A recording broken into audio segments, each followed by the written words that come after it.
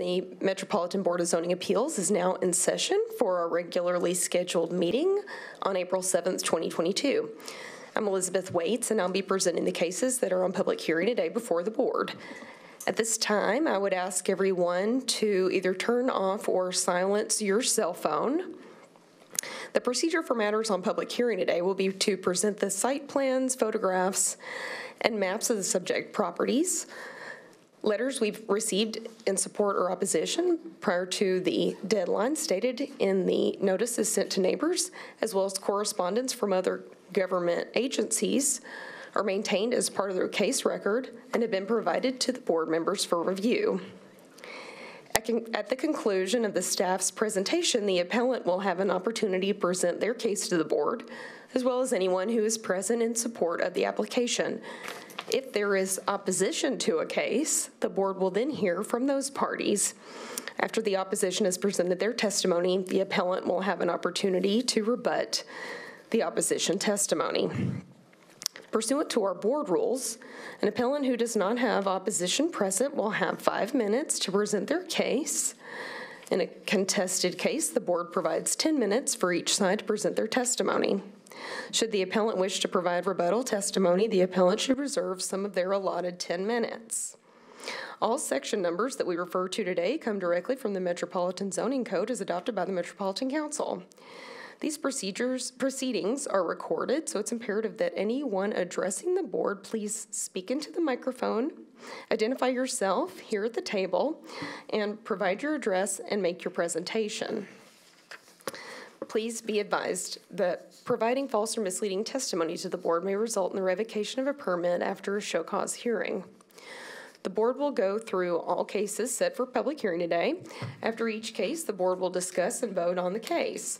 The Metro Zoning Code requires four affirmative votes to grant an application. If all board members are not present, and the board does not reach consensus today, your case will appear back on the board's next docket.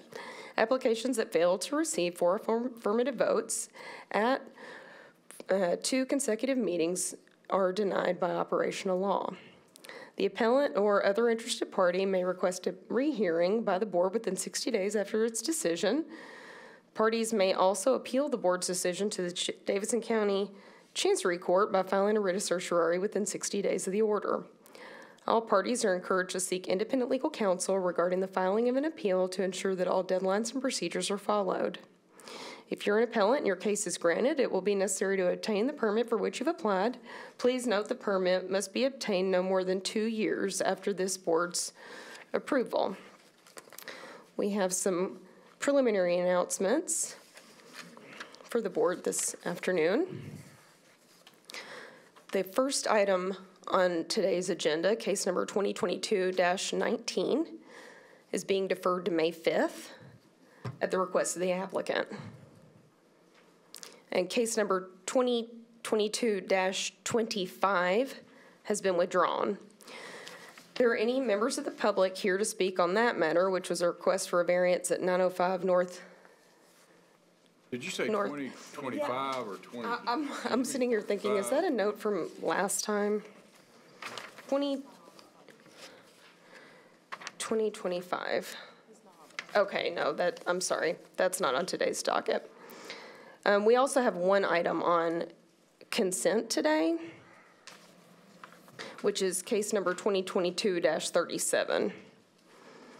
Is there anyone here in opposition to case number 2022-37? This is a request for street and side setback variances at 5008 Marchant Drive. Mr. Chair, seeing none, we would ask for a motion to approve the variance in case number 2022-37, if it pleases the board. I so move. Second, or you can second. Sure, I'll second. All in favor of placing that on the uh, consent agenda, say aye. Aye. Any opposed? None. So- Thank you. And then we, if you could, um, please, uh, pass a motion approving the variance as well. Uh, Sure, I will move that we approve the variance requested in case 2022-37. Second it. Sure. In Favor? Any opposed? No. Okay, thank you. So for um, the appellant whose item was just passed on consent, you're free to go now. Um, Please give our staff a couple of days to process your permit application, and then um, you'll be able to obtain your permit.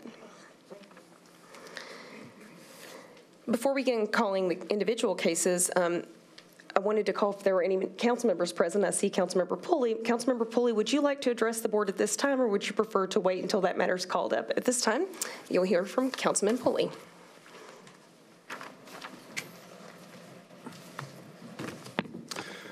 Thank you, Mr. Chair, and distinguished members and commissioners of the uh, board. Uh, Forgive me, uh, with the backdrop there, I thought for a moment Mr. Lawless was our new school board representative, but uh, uh, I guess I'm really happy that's not the case. So uh, I'm here to speak on item number 2022-031B, which is a setback variance at 2402 Valley Brook Drive.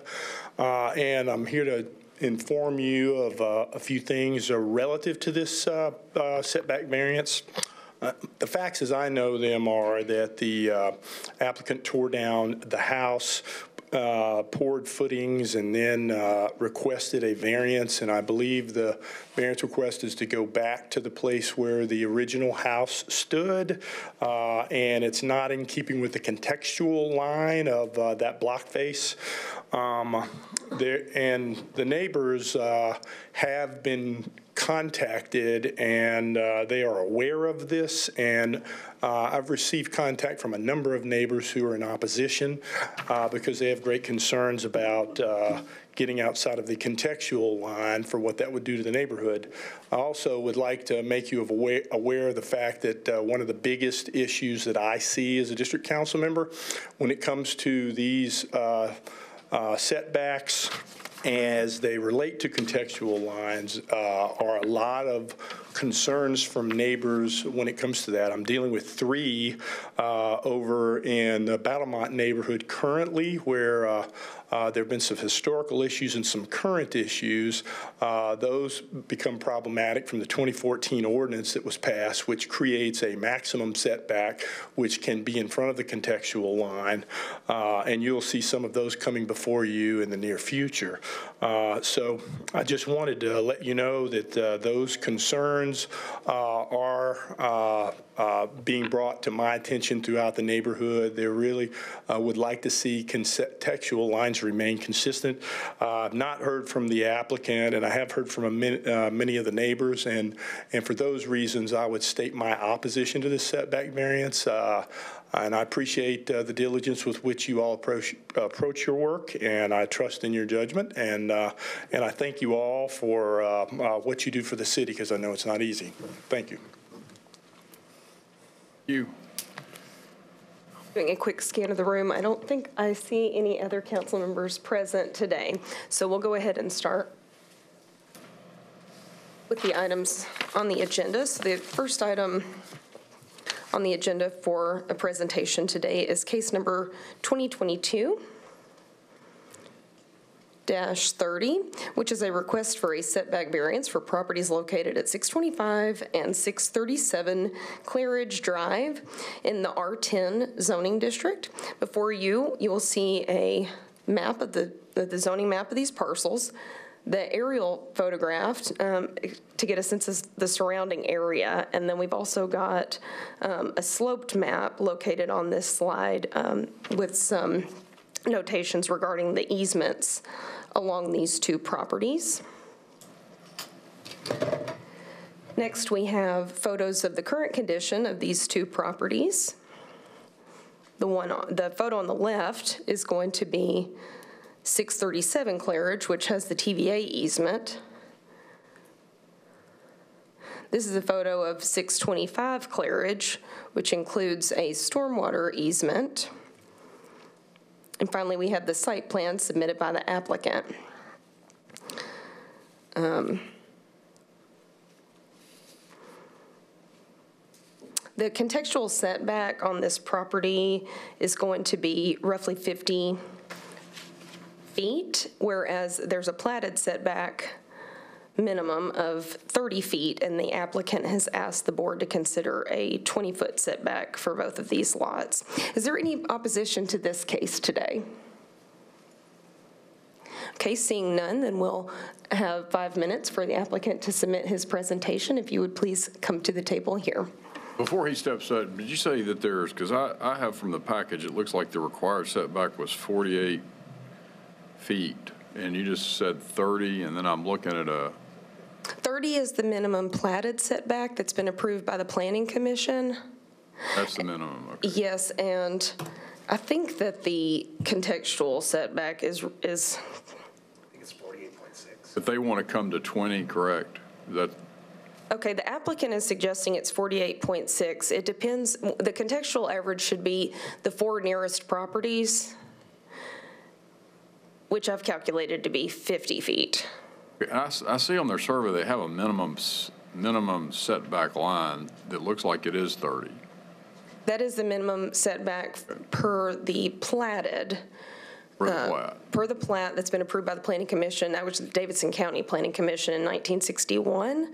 But our current code, under section, um, it's section, I think it's 17.20.030C, provides that you take the contextual average of the four nearest properties. So the applicant, if, on this plan, the site plan here has calculated what that average would be based on the three nearest properties. But when you calculate it to the four nearest properties, it's a little further back because the fourth property that wasn't calculated with the applicant's um, diagram here is farther back than those other three properties. So it comes closer to 50.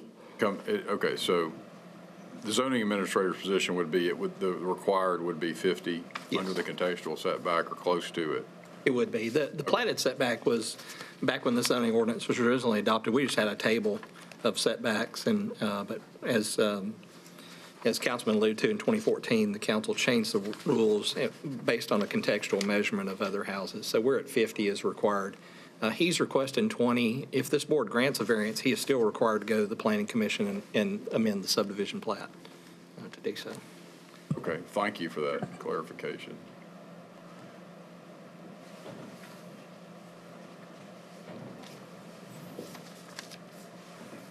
Does this one have a button? It's on. Uh, Josh Helmer, 1071 Second Avenue South. My name is Brian Musser. I live at 725 Mel Park Drive. So uh, what we're asking for today is, it's kind of complicated because we, this got put together as one uh, variance. It could have been two. But for Lot 27, we're looking to use the platted setback of 30 feet instead of the contextual of what we thought was 48.6. And then for Lot 25, because of the TVA easement cutting off the back of the property, we are hoping to get to somewhere around 20 or 22 feet rather than the contextual, or, or we won't be able to fit uh, any units on that property. Okay, can we pull up the survey that, that, you, you, it looks like you had a survey done in February? I think that's the bottom picture. Okay, yeah, okay, there it is, yeah. So on, on lot 27, it, it looks that like your, your um, hardship is this um, public utility drainage easement along the, the left side as we're looking at it. I, I don't know what direction that would be. Is that, is that the, that's the hardship relying on? It. And how does that affect the, the front setback? It So seems like it- it might affect the side setback. If you if you're looking at it from the front, it goes on the right side, and then it uh, kind of curves down behind the property. Um, It was supposed to be, I believe, along the side setback when it was originally put in, but it's eroded over time. And so if we are at the contextual, we'll be uh, building houses right through it. It's hard to see, obviously, on the survey, um, but if you're out there, it curves back into the backyard. I can see it on the survey curving a little bit, but it just doesn't look like it is enough still to, to, to keep you from building towards the back. Maybe those uh, satellite pictures will show it better. Yeah, because I don't think the survey does. It's, it shows a little curve. I look, and it, it is, it's kind of a com, it's a, looking at the property line, it just looks to me like it curves out a little bit.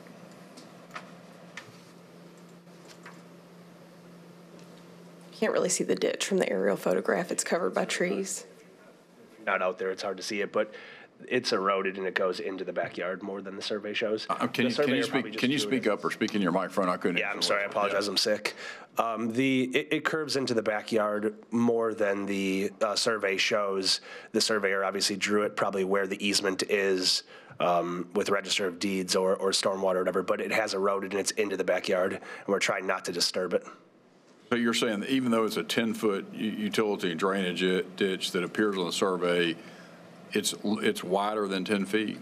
No, it- we're not asking for a side setback variance, we're asking for a front because it curved, it goes down the lot line and then curves into the lot. Uh, Yeah, I understand that part. So we could disturb it, or we could just move the houses forward to the platted setback and not disturb it.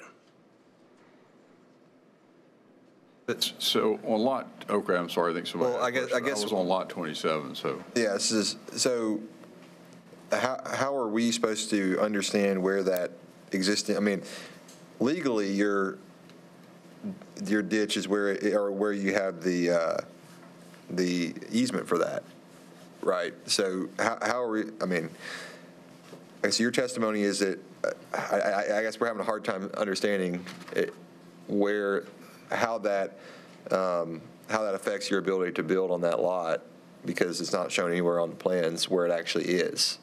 Does that make sense? Yeah, I, I uh, understand what you guys are saying, absolutely. I think what we're, what I'm saying is that the field conditions are different than the easement that's recorded. Okay.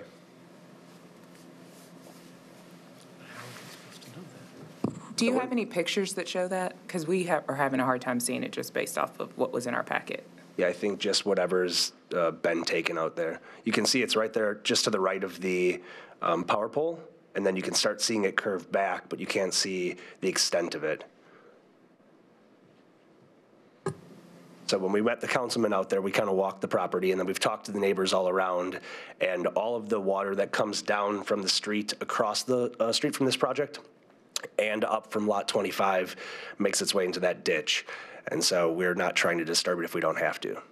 It's been there, you know, I, I, I So know. how wide, just approximately, does it bow out from the property line? In addition to the 10-foot, What do you how, how far goes up? outside of the 10-foot easement is it? Yeah, probably 15 or 20 feet, it curves in. Outside of the, in addition to the 10-foot easement? So it's, That's, that's what it appears on the, uh, on the ground conditions. Yes, sir. So, so would you say that with either one of these lots, um, if you did build to the contextual setback, you could probably build one house but not two? Uh, No, I- I think on Lot 27, if we built to the contextual setback, we would just move the drainage ditch and hope for the best. On Lot 25, you could not because the TVA easement, you couldn't build any. Okay. so moving to lot 25 is the, I studied the survey, and your surveyor listed, he has a denomination for overhead power lines, but I couldn't find them on lot 25. I'm assuming, is this cross-hatching supposed to be, that's the TVA easement? Correct. So we've designed two, all these homes are single-story, they match the neighborhood. Uh, We've spoken with the neighbors, we've spoken to the council member, everyone's in support of it. We just need to get these variances in order to fit them on the properties.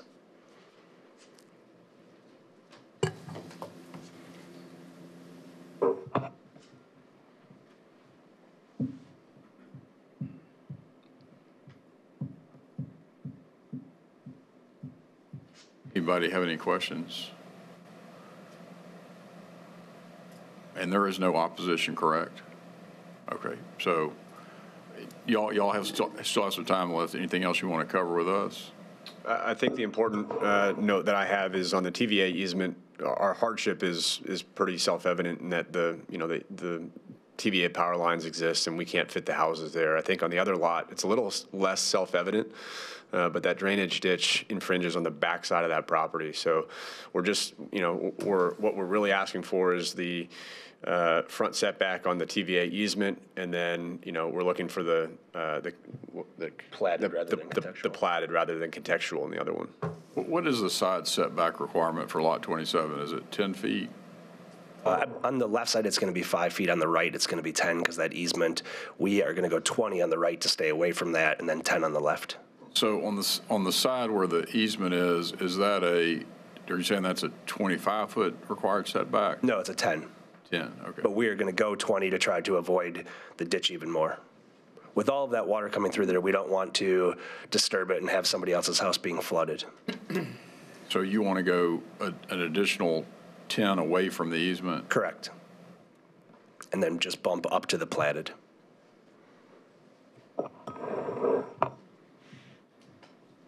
Okay, any more questions? All right, we'll close the public hearing and discuss. Well, I, I would say, I could start with the easy one, easy one, which is Lot 25. I definitely see that if that, if the cross-hatching does represent, which I don't have any reason to doubt it does, I- the surveyor didn't really indicate that on here, but just by, the only thing it could be would be the TVA, so I really see the hardship there. Lot 27, I'm kind of, uh, with Mr. Newton on that, I don't, I mean, all we've got before us is something that shows a 10-inch, 10, 10-foot, yeah, sorry, 10-foot drainage ditch, and um, I, uh, I just, I'm, I'm uncomfortable that there's not better evidence of why that it's not buildable up to the 10-foot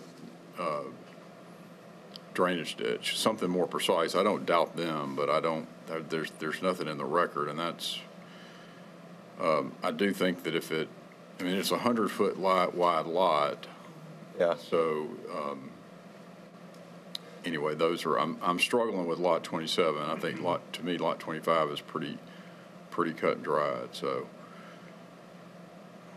Do you think that lot twenty-five, um, should get the twenty-foot setback that they're requesting, or the thirty-foot platted setback?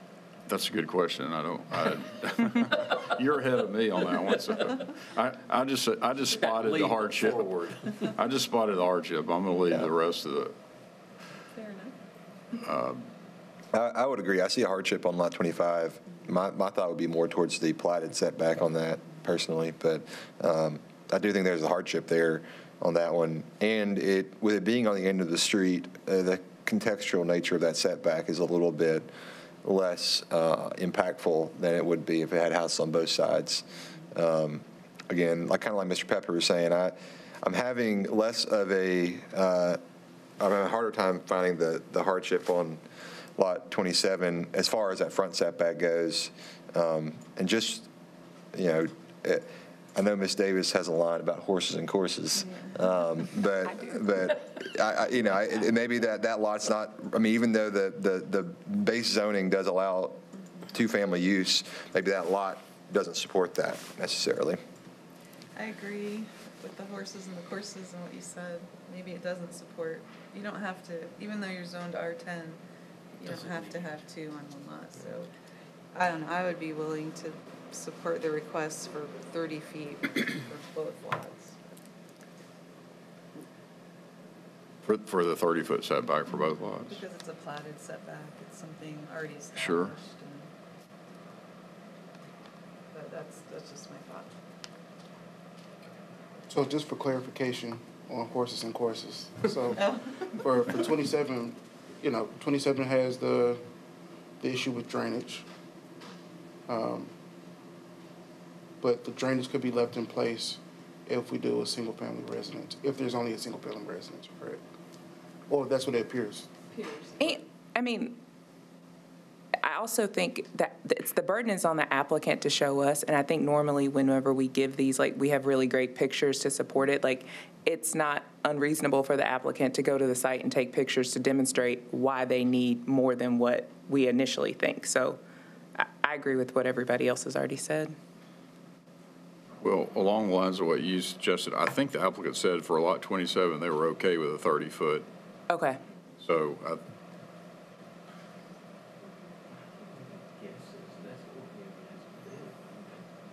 I don't have enough information on 27. to go the 30 feet, yeah. Um, I agree on 25. Do you think they should come back with photos? I think they ought to maybe give it another shot if they really, really want it. They've, and, and Ms. Davis is absolutely correct. They have the burden of going forward since they're making the request. And we're here every two weeks. Um, Well, not necessarily at this location, but we come together every two weeks. It sounds better. Um, And I just don't want to guess. I mean, it's, there, I can't assume facts not presented in evidence. It's just one of those. And I know everybody that's been in a law, lawsuit has heard that phrase from somebody wearing a black dress at some point in time in their life. And you, I hope, never have to sit there and listen to a judge make that comment to you. I have jury duty soon. Oh, Well, I tend to agree, there's nothing in the, um, I mean, all we've got is a survey that shows the 10-foot public utilities. And that, that picture, I don't doubt that it's there, but it, I can't see it from the picture. I mean, all I can see is a telephone pole and some,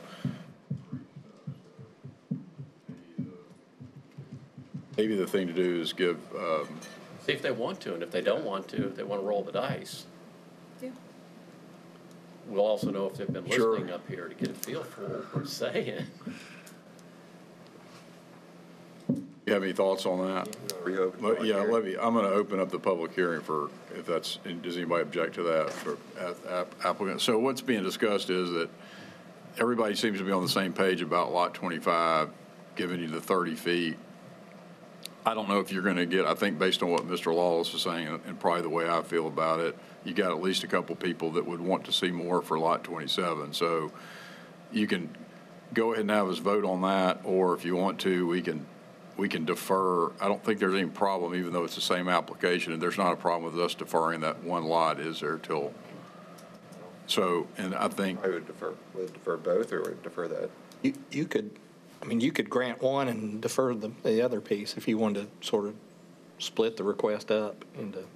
so we could grant one. It sounds like you would get 25 granted today. I don't know that you would get, I don't know how everybody would vote on 27, but you have the option, if you want to defer that and come back, there's at least a couple members up here that I would want, I think, to see more um, documentation in the record about what's going on with this, I'd call it a washout from the, or the, or the ditch.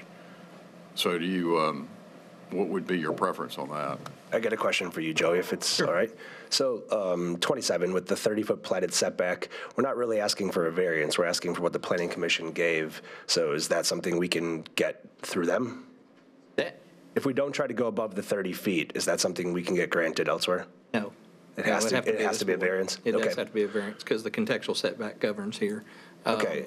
And I think, just to clarity to you, uh, Mr. Chairman, it, it may be better, I, I wouldn't, I wouldn't split this if you're. You would not split it, No, I, it would honestly make the order a little easier to write too, uh, Okay. selfishly. So- But I think it makes the record a little bit cleaner too, that, that the board acted on it as Okay, a package good. rather than. So let me, let me take back what I said. Probably, you've got the right, you got the option today. It sounds like if you come back, if you want to defer this, Lot 25 is definitely going to get approved at 30 feet, but we don't want to, we're probably not going to vote to split them up. So if you want to defer on Lot 27 to bring us more evidence about what's going on with this, this drainage ditch easement, then you'd also need to defer 25.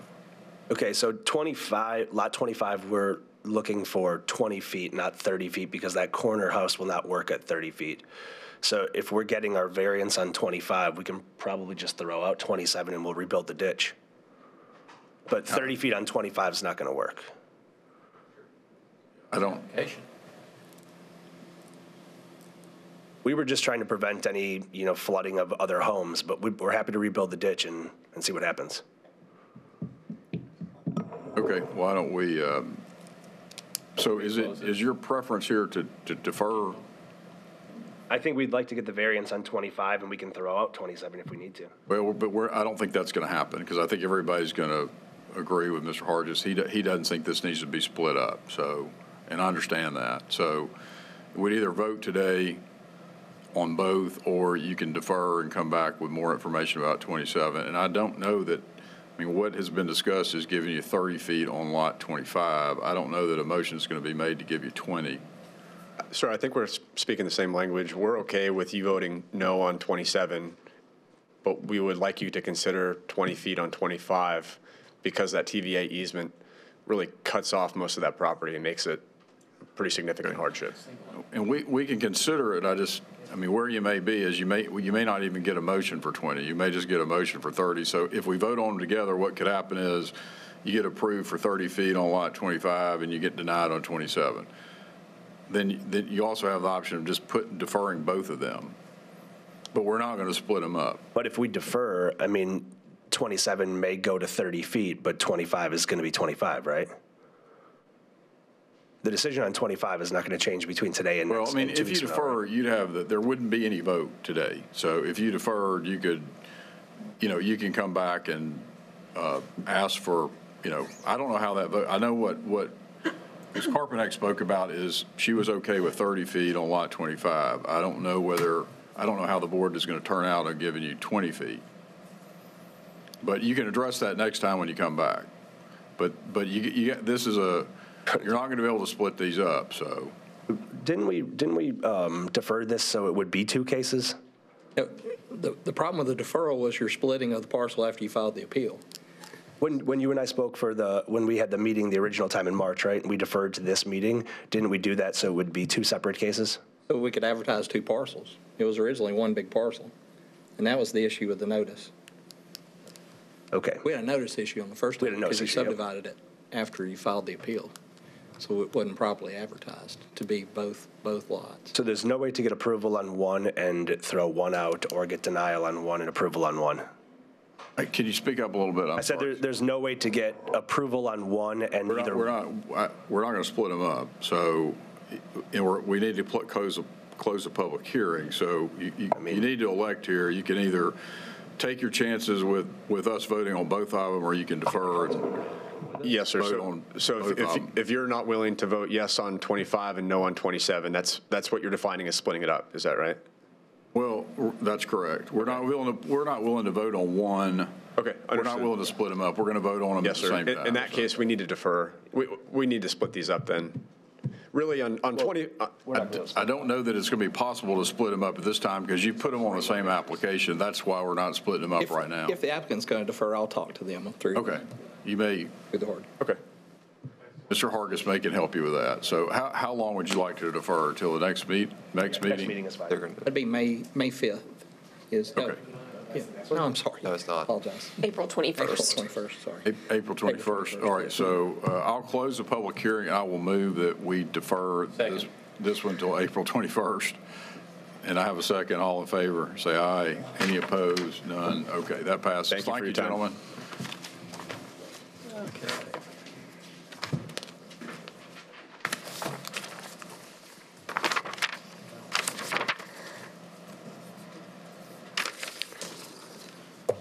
Mr. Chair, members of the board, the next case on the docket today is case number 2022-31B. This is a request for variance from the street setback for property located at 2402 Valley Brook Road. This property is located in the RS40 zoning district. From this slide, you're able to see an aerial photograph of the property and the immediately surrounding neighbors. This is a photograph, photographs of the condition of the lot as it exists today. And this is a site plan that's been submitted from the applicant. I believe that we have opposition present today, is that correct? So, Mr. Chair, we'll ask the appellant to come forward to the table.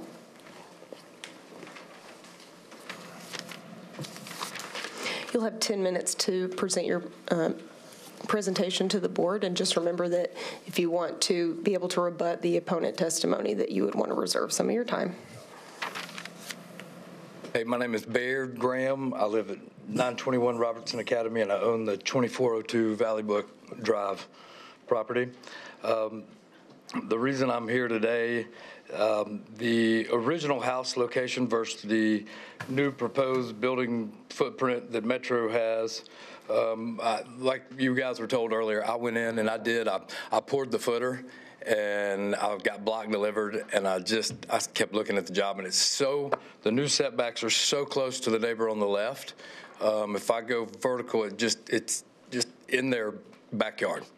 And so if you look at the picture of the, the, the view of the existing house on the Google map picture, you can see where the existing house was and how it was fairly close to the back. And now the new house has to be put behind it, and it's, honestly, I stopped doing it because it's so close to the neighbors. I have every right, obviously, to go in right now, and I'm approved to build inside these setbacks that are approved by Metro, but it just, it doesn't look right, and it sits upon the neighbors so bad, I just I just had me, I stopped, and uh, the only reason I'm here to get a variance is I'm trying to improve the, the way the house looks on, obviously, it's an irregular shaped lot.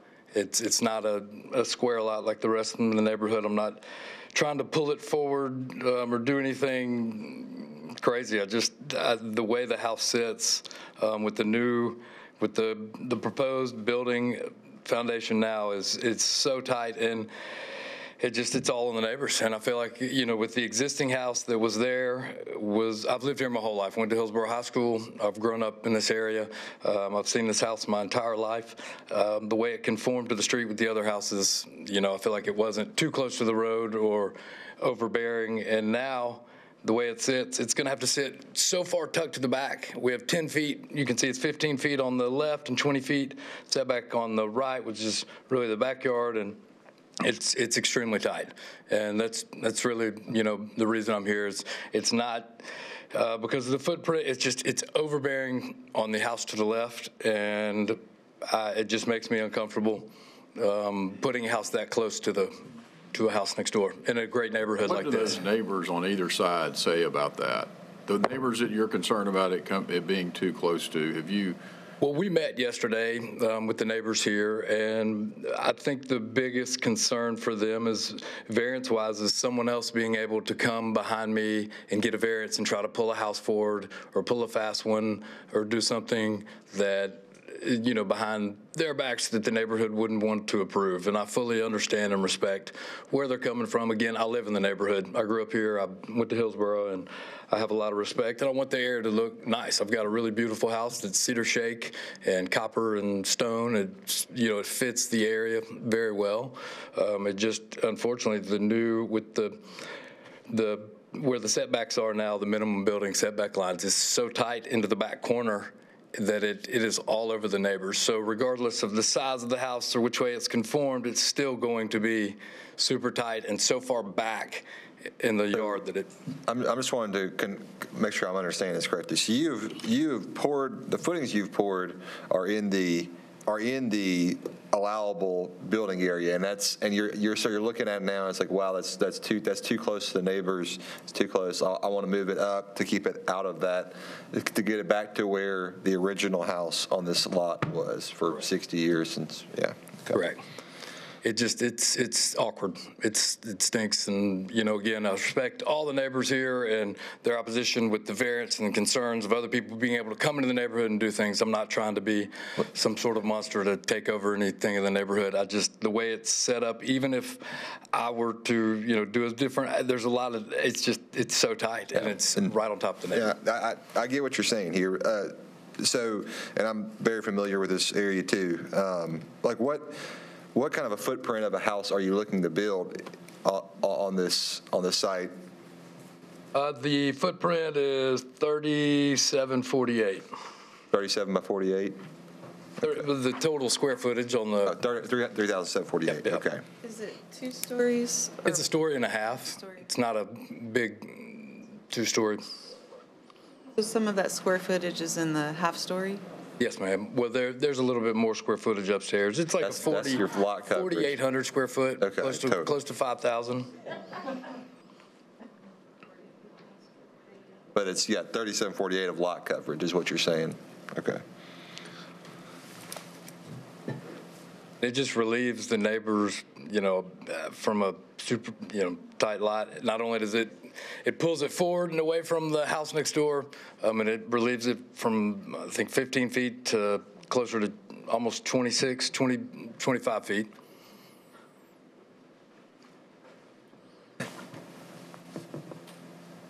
okay, Mr. Graham, uh, any more questions from, uh, anybody have any more questions for Mr. Graham? Okay, you may have some time left for rebuttal. He do- You do. You've Got some time left for rebuttal Good. after your neighbors talk, yeah. Thanks. Okay, would members of the community who wish to be heard in opposition to this matter, please come forward. Just collectively, you'll all have 10 minutes together. Well, However, however many speakers you have, just be sure to divide your time accordingly. Um, That 10 minutes is overall, not per person, but.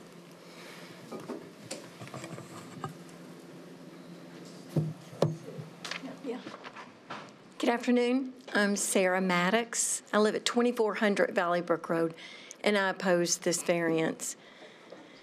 We've lived at 2400 Valley Brook Road since 1976. We were friends with our neighbors, the McGowans, at 2402 until they passed away and sold the house.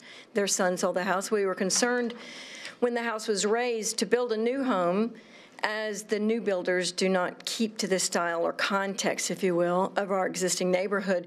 We believe this re- request for variance is a validation of our concerns. We oppose the variance that would allow the house to be closer to the street than current codes allowed. We feel that the footprint of the proposed house is too big for the lot and that the developer should get a redesign. We feel that he is currently wishing to seek forgiveness rather than permission. Allowing this variance would give others permission to do the same and change the beauty and personality of our neighborhood. Thank you so much for your consideration. Uh, My name is William Hunt. I live at uh, 3421 Valley Brook Road. I've lived there approximately 40 years. um, And you- uh, Woodmont Estates is just a unique uh, uh, subdivision, probably one of the first in Nashville that I know of. And uh, it's just, uh, this, this house seems to be awfully large to be on this small lot. Uh, That's, that's one of my thing. And I don't understand why the uh, footings were poured. Uh, I mean, he- he should have known, he could have seen what he was, I mean, I just don't, I don't get why that was done. Uh, I And I don't really feel this is a hardship case. I think the, sh- the house just should be smaller. Uh, I think that the house that was there was quite, about three times smaller than this one, and it's a real unusual shaped lot. And I think it's hard to get a house of that size on that lot. And we just don't want to set a precedence in the neighborhood of having this happen. Uh, It's, we've all lived here quite a while and just feel like uh, that this is, uh, it, I just don't really want it be, be done. If, if, uh, the if the house that he's building was, was being built and was the the same size as what was there, would you have an issue with it? Probably not as, mu- no, not as much, no. This is just a large house on a, on a really unusual, I think it's very unusual, hard to build on lot, personally. Okay. Yeah. Hello, I'm, I'm Mary John Hicks. I'm at 3512 Echo Hill Road. Um, I'm about three houses away from this house that we're talking about. I've lived in the neighborhood uh, nearly 40 years, and I'm opposed to the variance. And the reason is because I don't think it's a hardship case at all. There again, um, it is an odd-shaped lot, but he saw what the house was before he tore it down. He should have known, he- his architect should have known that it had been moved back, and it would take, it would be a smaller foot, have to be a little smaller footprint and push back a little bit. He tore it down, he had months to plan for this new house, almost a year, I think. And, but he poured those footings anyway. And then later, as he told you, he saw it and felt bad about it, and he saw that it was an awkward uh, pushed in the corner house. So I don't think that really claims a hardship because he had second thoughts. Uh, I think his plans could be changed, and we asked him when we met with him if he would please change it to a smaller house because we don't have anything against his building. It's probably fine. It's just it needs a smaller house on this particular lot. And um, he didn't seem to want to do that. Um, Ms. Hicks, just so I'm clear, would you, if, if, if, if the applicant was building the same size house and wanted the same setback, which is really where the original house were, you, you wouldn't have an issue with that? Probably not. I have not seen that put back in that spot. As long as it, you know, I, I don't know how it would fit because it may have to be, it's, it's pushed back into that, to that L shape, so it might have to be a different configuration. The, the one before was a ranch, so it was, it was elongated. This is now pushed in a corner, so he may have to make a little bit different shape. I'm not, I'm not sure. I'd have to see it. But probably a smaller house would fit. We're mainly concerned that this a variance of any kind in our neighborhood would set a precedence. And we sure don't want a precedence. Like he said, we're, we're afraid that, you know, another developer will come in and say, well, there was a precedence. I can build my house closer in. We've got larger lawns and our houses are back. And, and we don't want somebody to take advantage of that and bring their houses forward just because someone else did for a different reason. And we feel that this could be a variance, this could go over and over and over, and we'll be coming in here every, every year because of everybody's building new houses. So we're just, we're just saying we don't want to lose the integrity of our neighborhood. We're hoping it just sticks to a smaller plan somehow. And we also, one last thought, well, some people brought up the idea, one, if he did bring the house closer in, He's planning to put a, a nice driveway in front. Well, that's just taking up the entire beautiful lawn that we love so much in the neighborhood. And it would really take up a lot of that lawn. So it would be inconsistent.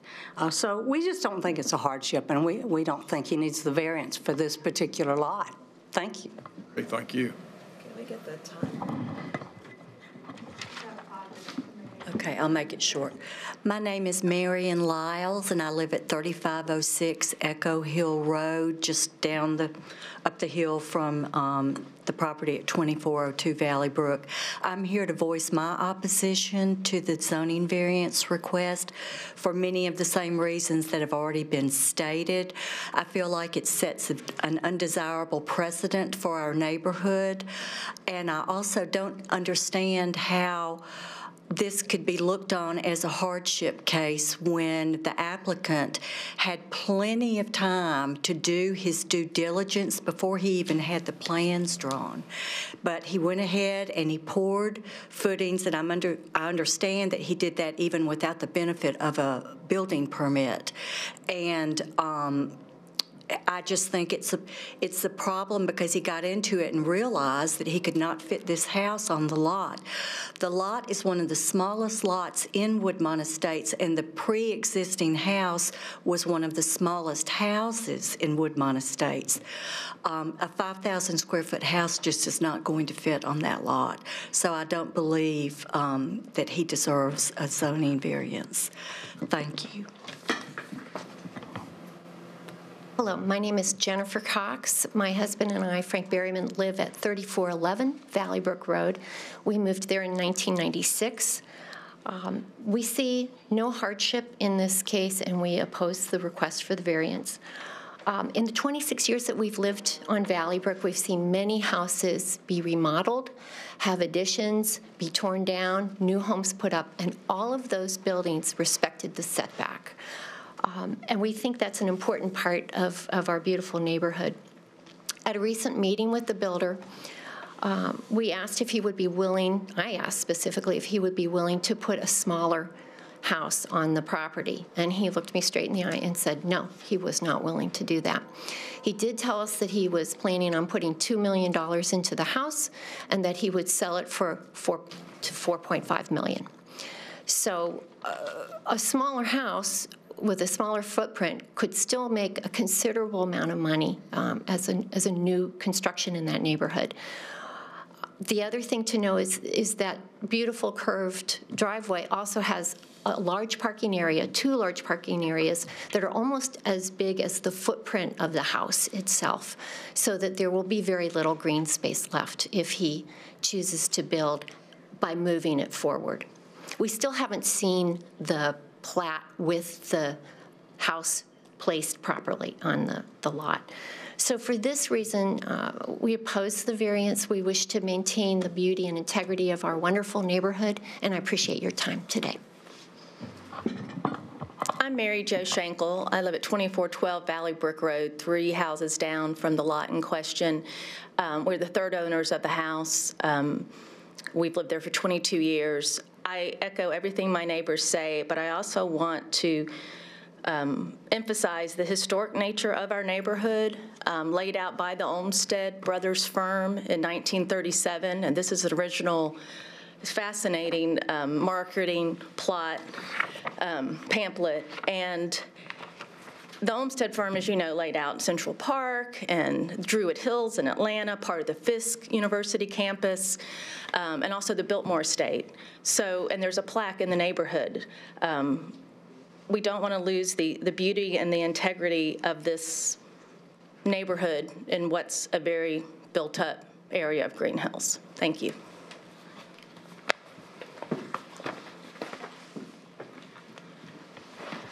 Hey there, I'm Amy Cooper, and I live at 2408 Valley Brook Road. I am right, Next door, Ms. Cooper? I'm right next door. Okay, and then, Yes. well, really quickly, Mr. Maddox, or the, the- Mr. Maddox that spoke, are you right next door too? Yes. Okay, all right, I, okay. And I still oppose the variance. I'm in favor of keeping the continuity and the consistency of our neighborhood. I'm Pat Meadows. I live at 2424 Bear Road, which connects to Valley Brook at both ends and backs up to Valley Brook. I bought my house about five and a half years ago. It has the same square footage as what he is referring to uh, now, but I only added about 200 square feet, and it's just fine on the lot that I have. Uh, I, I just think he's a professional, so he should have known what he was getting into, and it- I'm opposed to this.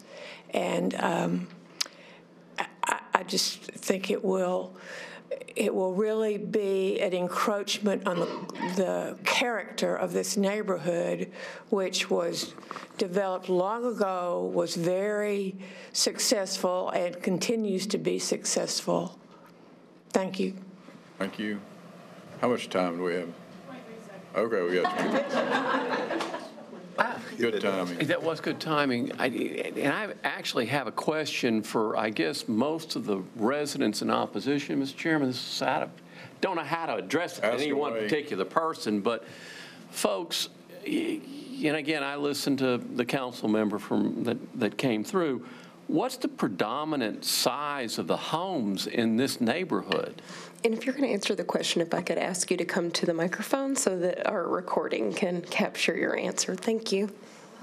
And choose a representative. Yeah, pick somebody if you wouldn't mind. I, I mean, I'm, Ma'am, could you, could you come up and then state your name again for the record? My name is Marion Lyles. I live at 3506 Echo Hill Road.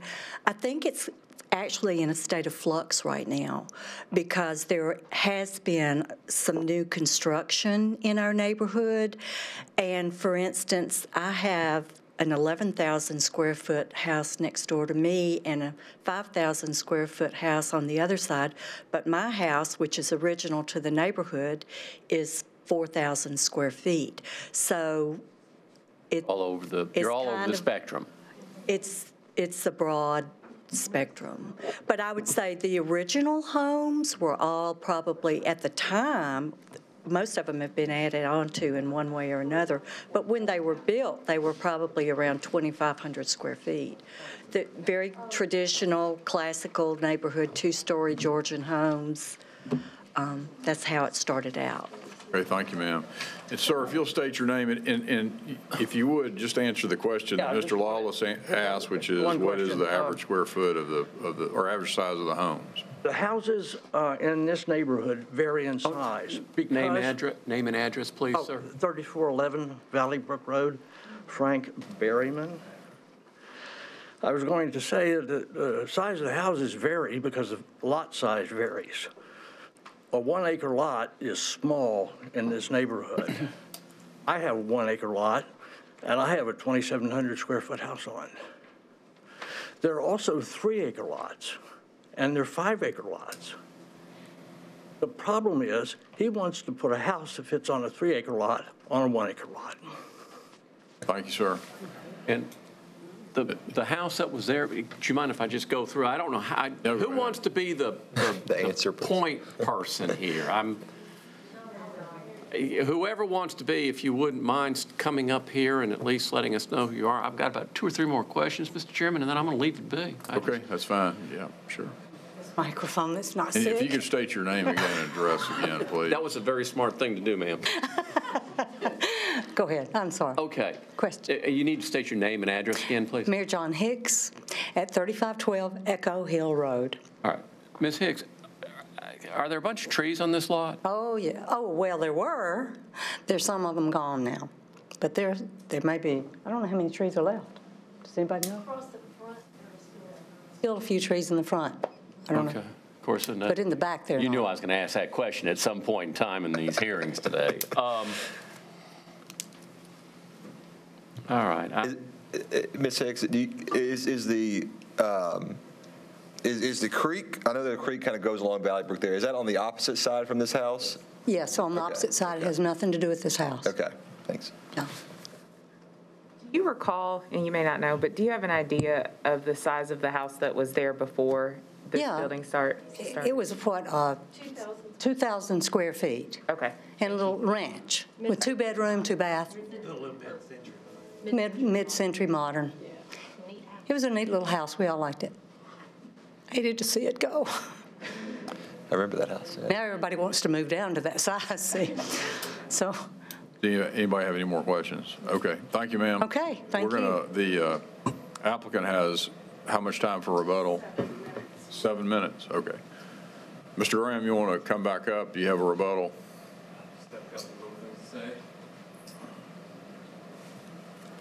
Um, Again, I'm, I'm not Baird Graham, 921 Robertson Academy Road. I own 2402 Valley Brook. Um, I'm, I'm not trying to go against the neighbors. I respect every single one of them and what they're looking to do. Um, You know, I'm not trying to pull a fast one. Yes, I made a mistake. It looks too tight with the, you know, for the footer.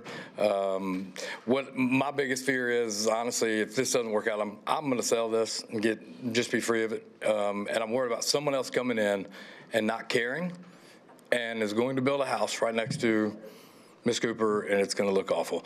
And again, I, it just, it, I'm here to try to make a neighborhood So, Mr. Graham, they're- they're- what your neighbor's concern is, is that, one concern I hear is that what you're building is three times bigger than what was there, and that they've asked, apparently, according to them, they've asked that you consider making the house smaller, and you've, you not, Well, I mean, you it's, you won't do that. it's Is that- at is this that point. accurate? Is that- yes, sir. We talked about it yesterday. It's tough to go back at this point and, and again, you know, st- redesign a, a new set of plans. It's it's it's a lot of time and spend a lot of money. And at this point, again, I'm not trying to argue or uh, go against it. If it's uh, if it doesn't work out, if again, I'm not. I'm going to sell the property and I'm just going to be free. I don't want to have bad enemies with any neighbors. I've lived here my entire life. I've lived here for 42 years. I love this neighborhood. I love this town. I love the city. I build more than most people do around here with you guys. And again, I'm not, you know, I'm trying to pull any fast ones. I think the house um, whatever house that will go there in the future with the setbacks that are there now are going, it's going to look awkward. And they can, and I, I understand where they're coming from with the bigger house or, you know, but this isn't some huge gaudy house. There's huge houses everywhere in this neighborhood.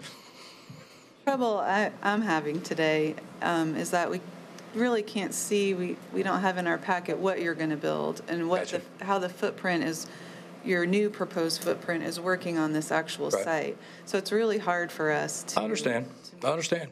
Well, look, um, listen, again, my, my concern is what's going to happen in the future when someone does build there. The footprint that Metro has allotted for this irregular lot sets it in the very back corner, and the, We can yeah, see Cougars that. are going to have a hard time. Well, all right, thank you. Thank you. Did- All right. Did anyone have? Yeah, does anyone have any questions for Mr. Graham for you? Okay. All right, we'll close the public hearing and, and uh, discuss. I, I would, I mean, I would personally like to see more information, and um, I don't feel like I could make a decision today without this information.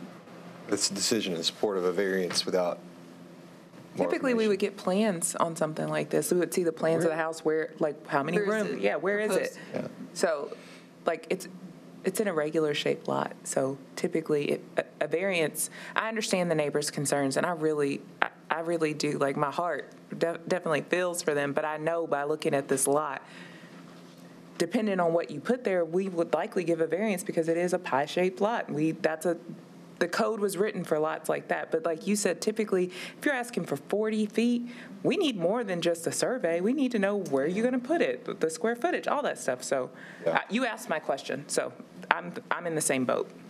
So maybe we should open the uh, public hearing to ask the applicant whether he wants a deferral. I to think it get would be an excellent decision So, on his. Mr. Graham, uh, so here's where we are. Can you, can you come got- up, please, sir? But we also need to get some feedback from the, the neighborhood, obviously, Right. because there are a whole. So it, it sounds like where we're going is that you would not get this variance approved today, but that you would have a chance of getting the a variance in some shape, maybe, if you supplied more information, namely a site plan, so we can see what you're building and where it's going. So I think if you, if you want to defer it, we can defer it, and you can get that information to us. If you don't want to defer it, then it doesn't sound to me like it's going to pass today. I could be wrong, but I'd, I'd like to defer it, just for you guys to look at it. Again, I. And if you heard the concerns about what we can't see, I agree. is- I mean, I have the plans with me, they just weren't, it wasn't ready in time, so. Okay, so Can we get some elevations as well, just so we Yes, understand the sir. I'll have scale? the full, for us? All full right. set. I mean, I can leave them with you guys as well if you want to keep them. so, uh, okay, thank you, sir. We'll close the public hearing. Some photos might be photos. helpful. Photos and Really. Shots, I'll get, I'll get everything you need. Be a lot- Next meeting or the two meetings, which, Well, I think it'd be April 21st. Would that work for you to get things in line? can we, Okay. can we get some feedback from the, Yeah, there's a lot of them who showed up today. there's a so- whole bunch of them showing up, and I, Sure, Yeah. yeah. So we'll leave the public hearing open and, and uh, if y'all want to, I mean, what we're proposing here is to allow the applicant two more weeks to give us a site plan so that we can uh, make a decision.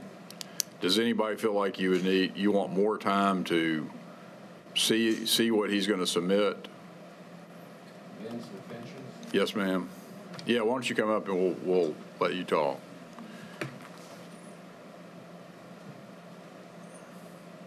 Uh, We're, we're fine with the deferral if, if he, oh, I'm sorry, Mary John Hicks, 3512 Echo Hill Road. We're fine with the deferral, it's just that um, he didn't have his plans today, why didn't he come prepared? He didn't come prepared to our meeting either. And we think you would be prepared, but are you going to bring the same large house back?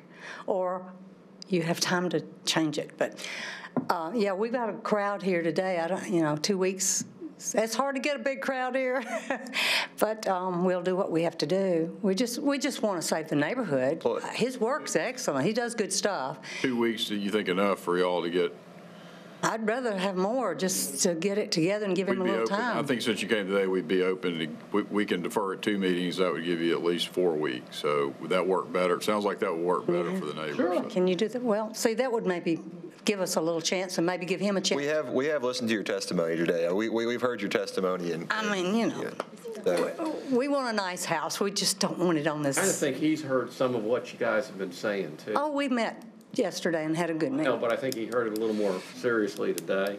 I may Oh. be reading him wrong. I'm looking at his eyes right now. No, Mary, uh, so is all, all construction halted until? Uh, Yeah. is that right? Everything's halted until then, is that? Just, There will be no vote taken today, except we'll defer it for four. I think it- y'all, are- y'all want four weeks. I don't think he objects. He wants a deferral, so we'll do four Make weeks. a motion. Okay. Yeah, All right, let's, good. let's close the public hearing and Yeah. let's, Can I, can I say, I want to thank the neighbor who told, told us about the Frederick Law or the Olmsted. That was, that was, I, I've lived, get on- I- I have lived, I have lived in Nashville my whole life. I grew up right down the street, went to church, right, go, still go to church right down the street. I never knew that that was an Olmsted, uh, neighborhood. There's a And actually, sign. Uh, the, one of the houses back here, some fri old family friends lived in for 50 years. And so that's, that's wild to know. That's cool. Thank you. great. Thank okay, you. so we'll close the public hearing and. Motion. Motion to defer till. Second. Okay, what's the date of the meeting after next? May 5th. May 5th. May 5th. There's a motion and a second to defer to me- May 5th. All in favor, say aye or raise your hand. Any opposed, none opposed. Okay, that's deferred until May 5th. Okay, thank you so much. All right, thank y'all.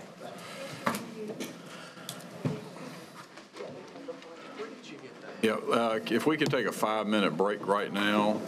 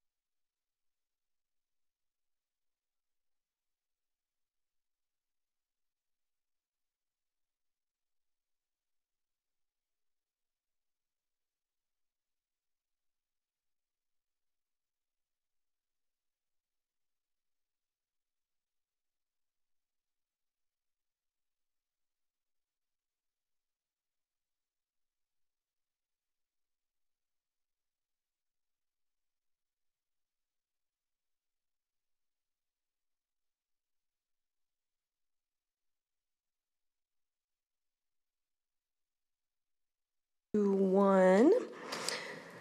So our uh, Board of Zoning Appeals is back in session. The next item on your agenda is case number 2022-35.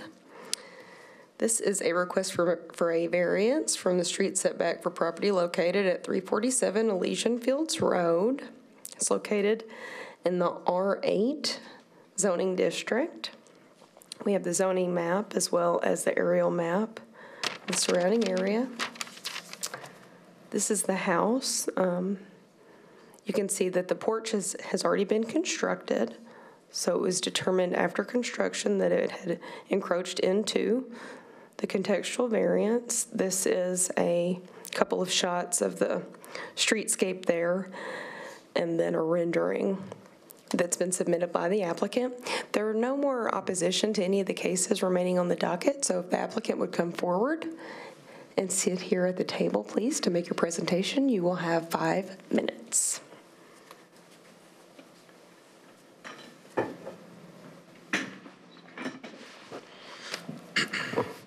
Good afternoon, ladies and gentlemen.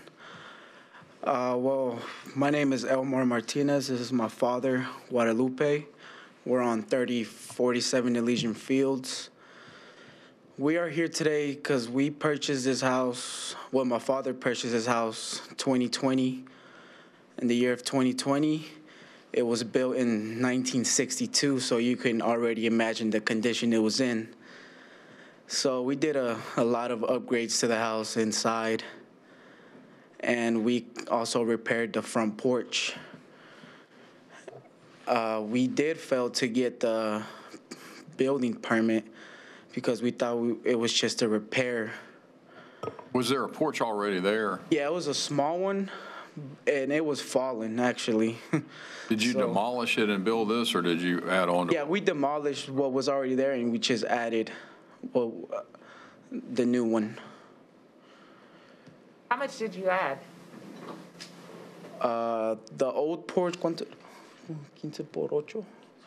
The old front porch was 15 by 8. Y ahora que- No, 15 por 4 y 15 por 8. It was 15 by 4, but we moved it to 15 by 8, so 4 feet over. Thank you.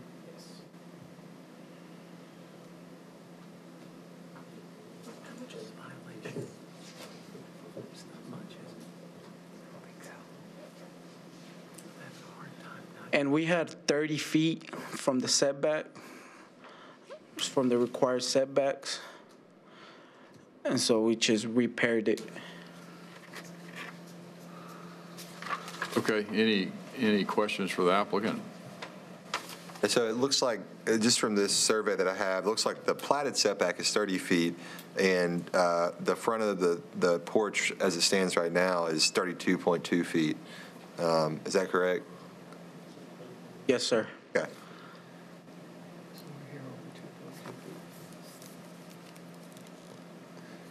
But the street, the contextual setback is 37.25 feet, yeah. Okay, all right.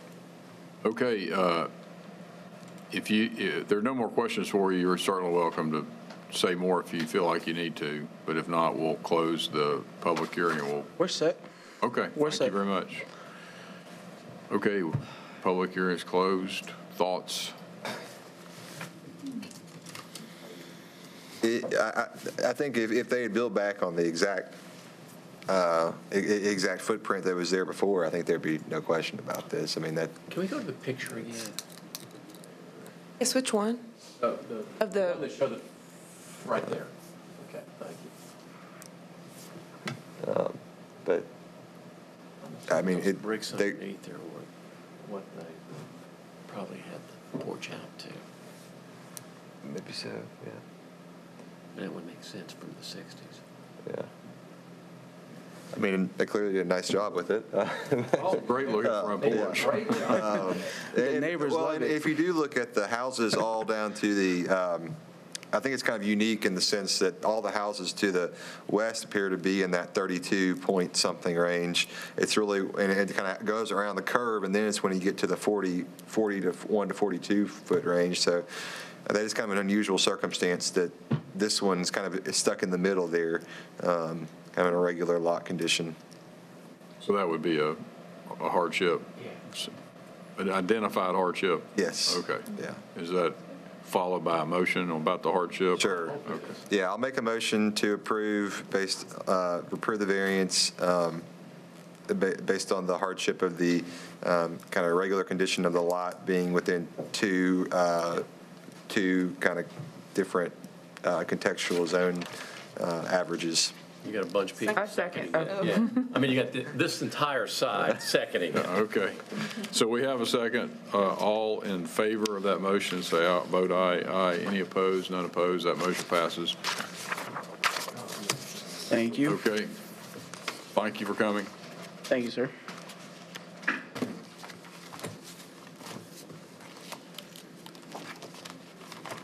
Next item on the agenda is case 2022-36. This is an item A appeal, of the zoning administrator's determination that a sidewalk is required for a new two-family development at 345 Edwin Street, which is located in the R6A zoning district. We have the zoning map. This is a aerial photograph of the area. This is the current condition of the property. Photographs submitted that show the corner sidewalk that the applicant is appealing.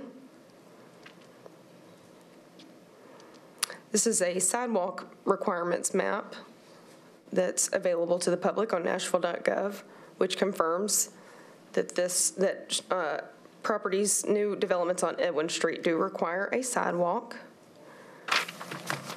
And these are photographs. The one on the left is a photograph of the streetscape going down Edwin.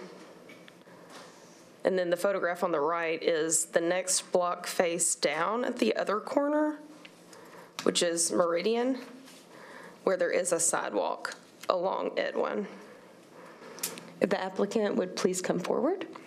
Actually, Ms. Waits, in, in an item A case, um, I g- usually go first in this one. Okay. Uh, But yeah, applicant, come forward. I'll, uh, uh, I apologize. Your, fir- it's your first item A, so no, no harm done. Thank you, good to know. No, the, um, actually, if you don't mind, could you give me the photograph the appellant submitted? And this will be the, um, The photographs of the corner. Right there. Yeah, that's perfect. Thank you. Um, Members, for uh, Joey Hargis, the Metro Zoning Administrator, uh, the zoning code requires sidewalk construction. Uh, Ms. Waits showed you the maps that we use to make that determination. Uh, Part of, part of the job of my examiners and myself at times is to make a determination whether that sidewalk turns the corner uh, and begins going down the new street. Um, In multiple locations, Metro has gone through the sidewalk network in the county and upgraded ADA um, corners and intersections, including the, um, I think, little rumble strip that's there. Um, The applicant submitted in his uh, submittal a copy of the um, specifications that uh, NDOT requires. And I'll, I'll make note of uh, that little rumble strip I'm talking about is drawing number ST 330 in his book. But when I look at the upper, both, both the left-hand photograph that the applicant submitted and the right, as well as the aerial photographs, uh, in my mind, the applicant talks about that as, that's part of a, a curb or, or the, as part of the ADA compliance. To me, that is the continuation of the sidewalk down Lischey in this instance, or down Edwin in this case. So in my mind, when I look at that photograph uh, and the aerials, uh, they've turned the corner and begun construction on Edwin. Uh, New construction, therefore, by that determination, he's now required sidewalks and is not eligible for an in lieu of contribution. So he's appealed that determination. But that's, that's how I made that determination. You look at those photographs there. um, And that turning there. We have, we have had, we have had instances where this installation did not occur, when they've stopped it here, uh, which we have not said that's a turning of the corner. But With this installation, we're now begun the path of extending the sidewalks down there. So, So, Mr. Hargis, that's the, that, that is the primary driver as to, as to why he has to build sidewalks on, on, the- on this street, on this block face? Yes, sir. Yes. Okay. The the zoning code itself requires them along the block face uh, when there uh, is an existing sidewalk in need of repair, um, to extend the existing sidewalk or replace uh, as part of, of an existing development plan, which really isn't at play here. Letter C is the one he's appealed on, and it states that um, new sidewalks are required when an existing sidewalk is present in the same block face. And that's what I submit to this board, that the turning of that corner is within the block face. And the block face runs from street to street, uh, from Edwin uh, down to Lischey.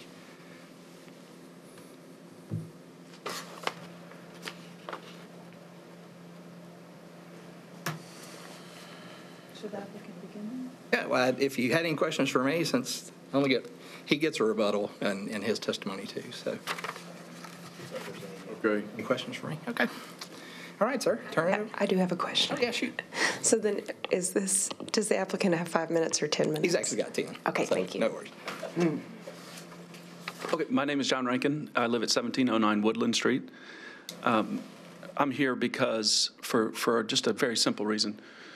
Um, We built four houses in this exact spot um, at 341 A and B and 343 A and B last year, and it was uh, tagged the permits as sidewalks not required. This turn was still there at the corner. We applied for two more uh, this year, and it was tagged si- sidewalks required, um, even though it's the same physical condition. So the evidence I presented here to set, for our belief that this is not a, an existing sidewalk on the block face is, number one, that turn was not created in a metro project that included Edwin Street. So when that turn was made, it was part of a metro sidewalk infrastructure project for Lischey Avenue. And it did not list Edwin Street. So they made that turn in order that the ADA handicap ramp was, was whole. And I do, I absolutely agree with Mr. Hargis. You see some with, with that extra piece on sometimes and some without that extra piece. But um, I do know that the spec for it is part of the corner, not the spec for a sidewalk. So the specification for a sidewalk in Nashville, which I also included, is just a straight piece. It's never a turn piece. So there's two types of specs in Nashville. One is the ADA corner, and one is the straight piece. And there is not a straight piece there. That that corner is included in the corner piece. So my testimony is that this wasn't created for sidewalks on Edwin Street, but instead for Lischey Avenue. And I would also ask this board uh, that, to suggest that that um, constitutes a sidewalk instead of making the corner whole is not, should not be, going forward, sh- should not be the precedent. Uh, It wasn't last year, and I would ask you to understand that it probably is uh, a little bit of an overreach to think that they, they made the ADA corner, and that now creates a sidewalk down Edwin Street um, uh, as part of a Lischey Avenue improvement plan. Um, I guess put another way, uh, for us, a block face is a group of lots that front a particular street. That's what makes sense to me. And this was created from a lot that really is faces Lischey Avenue. So I think you'll find that down Edwin Street, for in, there are no Edwin Street addresses where there is a sidewalk in the front yard. And so that's why we were, we were concerned that that had changed from last year to this year. Um, There was a screen earlier that I, I just want to object to, and that it was, it's the sidewalk requirement screen where you enter your address and it tells you whether sidewalks are required. Actually, if you enter that, it says sidewalks are not required for this address. And um, I can, of course, provide that later. Uh, You got to be sure at the bottom to click, to click one and two family, not multifamily, which is the way it starts. Um, But if you actually click on sidewalk requirements, it says sidewalks not required. And we presented all that, and uh, I actually presented that in my packet. Um, But again, my testimony is that uh, that, that cannot, I can't, I can't believe that that would create uh, the existence of a sidewalk on a block face from a Lischey Avenue sidewalk improvement plan. And if I take any questions anybody may have. Gone through the sidewalk waiver process? Uh, We have not gone through the waiver process, no. Um, And you're asking to not build a sidewalk at all? You're not asking for the ability to pay into the in lieu fund, correct? We don't think sidewalks are required here. So if you go to the sidewalk requirement map and you put our address in, it's, they're just not required. And in lieu is, it's not necessary because they're not required. Cost to build the sidewalk? Yes, 9,800. It's 50 times 196. And that's why we're here. It's a lot of money.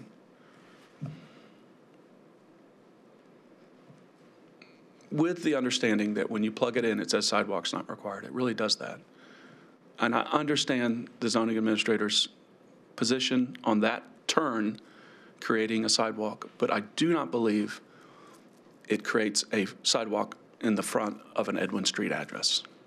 Your, your position is essentially, the intent was not to build, it's not a sidewalk because the intent wasn't to build a- a sidewalk on that street. Mr. Hargis's position is, looks like a sidewalk. It's right there and. It quacks like a Most people would look yes. at it and say, it I get looks it. like a side, part of a sidewalk, but I, you're, you're, you're focused on that regardless of what somebody would look at and say, that it wasn't the intent. And I think that's just something we gotta, Yeah, and my, my, what I'm saying, th- this piece of concrete was not created to go down Edmund Street. This piece of concrete was created to create an ADA curb on a Alicia Avenue tr- sidewalk plan. okay. Any other questions I'll take? I think there are any. Thank you, sir. Thank you. Thank you. Yeah. Discussion. So can the zoning administrator or someone confirm or deny the, the, the, what he mentioned about it showing up is not required on the software with a single when I'm- family? I'm attempting to do that on. Okay. Appreciate it. And to me, that doesn't, I mean, I don't. Well, Things get overlooked. I mean, the, the question before us today is, Does say multifamily or non-residential on that Yeah, I s- I screenshot. see that. I, I also know that there is a sidewalk down, down the street from here as well, but I- that may be multifamily as well. I, I think uh, the applicant did, he, he, he made, you know, the most compelling arguments you can make, and I think it boils down to, I, I accept as given that this, this, what I think looks like a sidewalk, was not really created to be a sidewalk on the street. And his argument is if, if the intent was, it wasn't to be a sidewalk on that street, even though it looks and smells and feels like a sidewalk, it's not a sidewalk. And I, I'm having, That's a tough, that's a tough one to me, too. I think it's, um, I think it's the best argument he can make, and he oh, did a really good job with his, with his materials, but I keep, I just keep looking at it, and to me, I can't get around that, for whatever reason, whatever the intent was, it's, it's a sidewalk existing on, on the street, but anyway. intent's an incredible thing to try to prove. Well, I- but Especially I, I don't think Mr. Hargis has pushed back about that, and I think it makes sense that for an ADA, you would have a backup area, or, I mean, I, but it's still, I don't think the intent cuts it for me. It's, it's still a sidewalk that's there existing, and, um, but others, you know, may have. I- Honestly, I, I do, I have a hard time seeing it as a sidewalk. I see that as the corner piece. I don't see it as a sidewalk on that street, but, um, that, and, and, and, and, and I can, I can visual, you know, I think he had some examples of the, but I can visualize plans in my mind, you know, that, that they require you to wrap around a certain amount for these public infrastructure projects. Does that mean that there needs to be a sidewalk on this? I- If there's, if that, if that is the reason that we're, that, that a sidewalk is required on the street and nothing else, then I have a, I, I, I want to see sidewalks everywhere, just like everybody else does, you know, like, I want to see sidewalks there, but I don't, I don't know if he should necessarily be responsible for that if, if, uh, um, i- if that's what, if that's what's, what's kicking in the sidewalk requirement. Newton, you asked me a question about, I, I was able to make a connection. I'm sitting here spinning at the moment, but it'll take a moment, but it'll pop up. I I mean, for, for us, and, and that's why I mentioned the applicant, I I have no issue with somebody appealing this, because it helps us in the office determine, okay, when we see this next one, what do we do with it? Um, So there, I think to Ms. Carpenek's question, there was no need for him to go to sidewalk waiver. This is more policy than substance, I guess, for particular permits. Well, do do you, is there any reason to dispute what the applicant says, that, that this was put in for the purposes of ADA compliance and not as part of a, we're going to start sidewalks on the street, but we ran out of concrete? No, I, I, I wouldn't dispute that, but I've, I've, you know, I've seen them where they're, like I described, they cut it off or, or, you know, sort of halfway down the other block face or around that radius, they, they've chopped the ADA corner closer to one street than another, you know, that, for whatever reason, utility poles or something. Um, it's just for us, when we do this map and we turn, the zoning code talks about if it's in the block face, we count it. Um, and looking through, I've got, Can you go back to the Picture where it wraps around the, not that, bingo, thank you. I mean, they could have.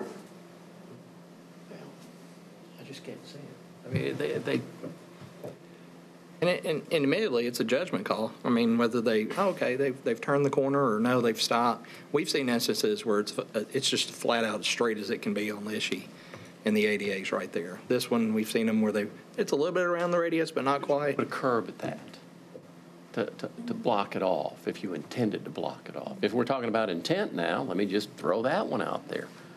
Um, I thought he made a great argument, Yeah. don't get me wrong, I'm not disagreeing, but I just, not our job to create law.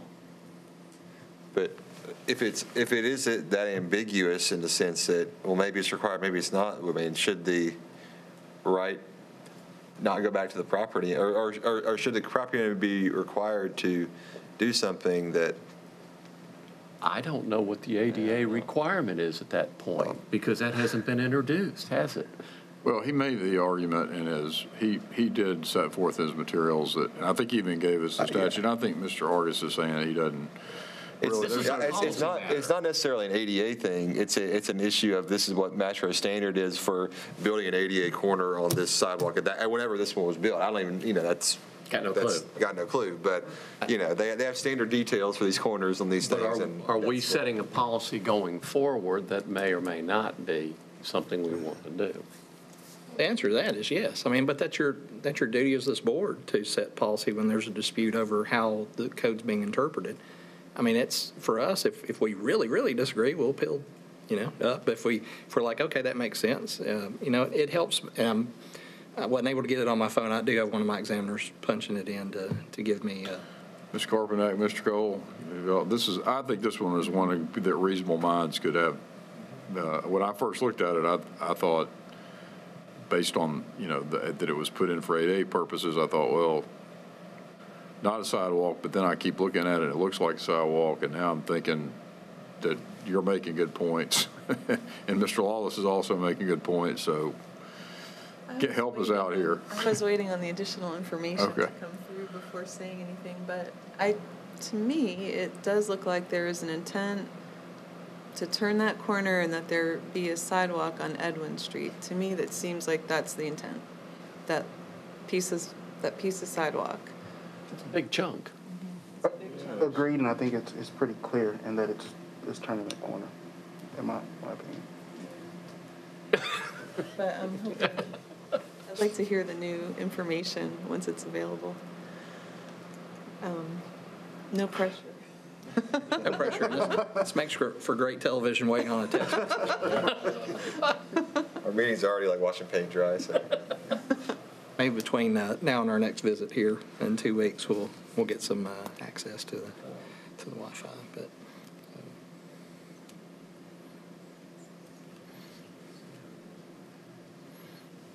And I think it's fair too, reasonable minds can differ, and that's, Oh, yeah. that's No, what I this mean, board's it's- for.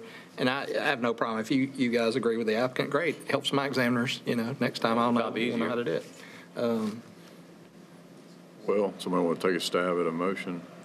It doesn't sound, it doesn't sound like we're going to be getting the information that you, you need, so. Um, So we'll go with it. Well, see, the information provided was that a sidewalk is required per that. So we'd be um, upholding.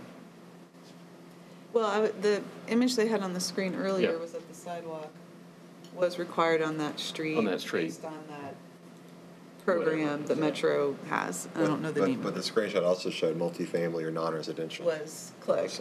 But- So it would be good to get the clarification. Right. Yeah. So I'm stalling. Um, Well, you are stalling. But, um, Administrator. And deny. Was that a, was that a motion? Yes, that's my motion. I'll- yeah, I'll hold. second it. Okay, I, Your motion is to approve the zoning administrator. correct. Second for Mr. Cole. Okay, all in favor of that, say aye. Aye. Okay, that passes. Yeah, one no. I'll be opposed. Yes, sir. I- I'll work with the applicant on his particular construction project. If the, if the, if the maps pop is not required, we won't require them in this instance, but uh, it does help us for interpretation, so. uh, Okay. hope that Helps with it. If it, I apologize. I, I thought I could get a return pretty quick, but we'll confirm. Just, just contact me tomorrow and we'll, we'll work through it. Okay, next case. Where are we? Oh, that's right, 37 was consent, so it'll be 30. Yes, next case is 2022-38. This is a request for variance from the height restrictions for a detached garage behind the residence at 4707 Wyoming. Property is located within the RS 7.5 zoning district. We have the zoning map here, a real photograph here. This is the site plan. And this is a photograph of the current property. The, the has already been built, and it's our understanding that whenever this rendering was reviewed initially by the zoning examiner, um, they did approve the building permit based upon the presentation that the knee wall height was within the 16-foot limitation. It's since been determined that the vertical height of that wall is actually higher than that because the dormer wall is the same wall length as the knee wall. Um, So once that came to our attention, um, a stop work order was issued and the applicant has appealed. And so to be clear for the record, what we're seeing up there now, which was, is the applicant's, um, what's the architectural term, plan? elevation. Elevation. That was submitted to codes and it was approved as is, and that's what was built. Yes, sir. We're talking about the overall height um, limit is 18.4, and that's at 16 feet to the eave about, so it's about two feet, four inches, as I recall. Yes, sir. All right, thank you. Thank you. So the applicant may come forward. You'll have five minutes to make your presentation. And for the record, I'll have to recuse myself on this one.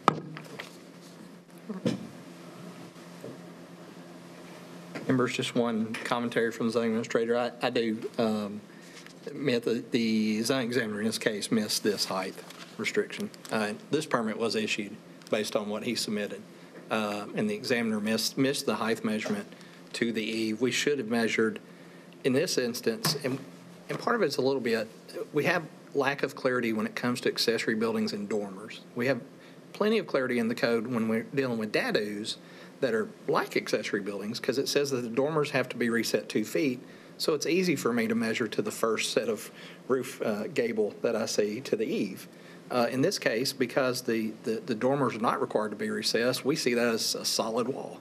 Uh, So I would measure to the top measurement of the eave. Uh, But the examiner, in, in defense of the, the applicant, he, he submitted what you see. We approved it. He went to construct, and we received a complaint uh, from a neighbor saying, hey, that's too high.